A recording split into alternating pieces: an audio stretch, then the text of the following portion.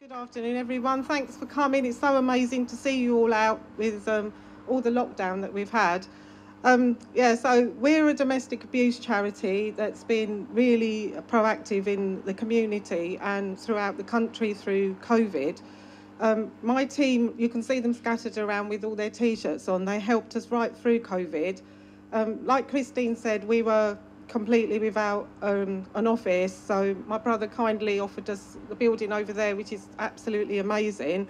And it's opened up loads and loads of doors. So sometimes being homeless isn't a bad thing. You do come out of it at the other end much better.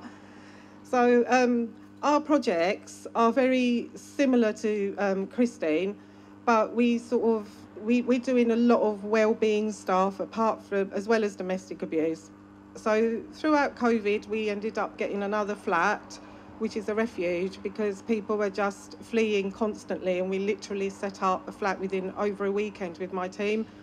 And um, oh my God, the actual domestic abuse cases went right through the roof. As you know, you probably see it on the news constantly. So, you know, even though we had to social distance, we were still putting ourselves at risk as well. But, you know, a lot of people lost their lives, but unfortunately, through domestic abuse, two women a week are killed, and that's what we're trying to prevent. So when Christine said she was doing this open day, um, she kindly sent all the invites out to you guys. I didn't even have to worry. Thank you, Christine, for that. so, yeah. So we've got our building over there. If you get time later on to go over there and have a look, we do, apart from doing all the support side of um, domestic abuse and getting everybody through the other end, we've now started a new journey with the wellbeing program. So we've got meditation room, we've got cookery, art, anything that anybody wants, mentoring with businesses, which is what I do. We, we just do ev- housing, everything possible to see them right through from the start when they turn up to us with nothing to right to the end where they end up with mentoring jobs, apprenticeships, and you know, without that, my without my team, I wouldn't be able to do it. So thank you, team. You're you're just amazing.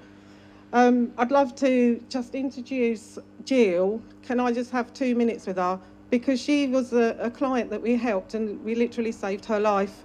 And I think she was she just dying to tell you her story. So if you don't mind, just two minutes. We'll yeah, we just that's Jill. I'll make it one minute, I saw that sign. um, let me tell you a little bit about myself. Um, I'm part of a large gypsy travelling community, and um, with I just want to take this opportunity really to thank Hasy for I'm going to start crying for everything she's done for me, because I am a different girl now to the one I was five years ago. You know, since thank you, Hasy. but since coming to New Leaf, I'm now, I left school with no GCSEs thinking that life was just about cooking and cleaning and looking after your children because that's what I was groomed to do from birth. But now I know that without Hasy's help, I've passed my GCSEs.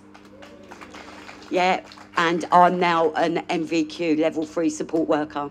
So, you know, having something like New Leaf in our town makes a difference to so many women's lives. So thank you, Assie.